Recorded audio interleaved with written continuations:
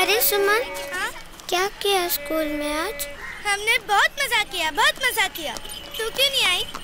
आज पूरी क्लास चिड़ियाघर भी गई थी। और हमने वहाँ ना हुक्कू बंदर देखा था। वो हुक्कू हुक्कू करता था। हुक्कू नहीं हुक्कू हुक्कू हुक्कू। पापा मैं बार बार क्यों बीमार पड़ती हूँ? मैं सबके साथ स्कूल कब जाऊँगी पापा? सब ठीक हो जाएगा। थोड़ा सा बुखार ही तो है। बच्चे का बार बार बीमार पड़ना। जल्दी थक जाना या देर से समझ आना ये सब कुपोषण के लक्षण हो सकते हैं। कुपोषण यानी सही पोषण का ना मिलना।